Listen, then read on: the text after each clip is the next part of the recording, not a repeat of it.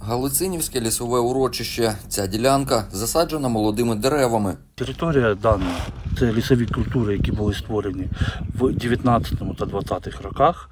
Сосна звичайна і клен татарський.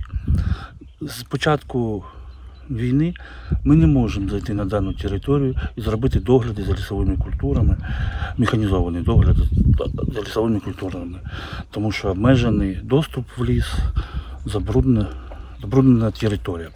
Серед молодих сосен боєприпас. Піротехніки його оглядають. На місці вирішено його підкопати та знешкодити. Під'їзди до місця контрольованого підриву перекривають. Територія оточена. З рації лунає команда до вибуху хвилина.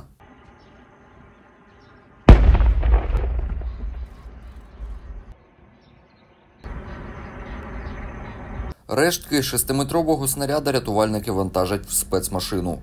Виявили вибухонебезпечний предмет РСЗВ Смерч з касетними елементами.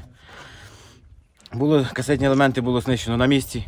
Безпечні залишки буде транспортовано на місце сортування. Начальник відділення з нетехнічного обстеження та інформування населення Асоціації саперів України Євген Канцев говорить, цей боєприпас та ще кілька виявили під час саме нетехнічного обстеження. В рамках нетехнічного обстеження ми різними методами проводимо обстеження території. Це спілкуємося з громадянами, вишукуємо інформаторів, хто нам може можуть повідомити про події, і обставини, які відбувалися на цій території під час початку повномасштабного вторгнення, і де ця територія була пригранична практично з е, військами РФ. Чоловік пояснює, що процедура нетехнічного обстеження впливає на швидкість співпраці між лісничими та піротехніками.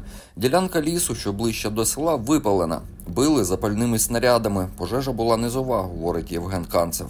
Поки територія вважається забрудненою, сюди не може зайти комісія.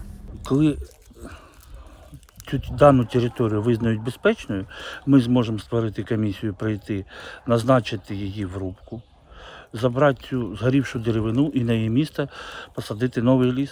В Галицинівці росіяни випалили понад 120 гектарів лісу. Зрубана деревина, що горіла, може згодитися для потреб військових, наприклад, для накатів над бліндажами, розповів Сергій Завгородній.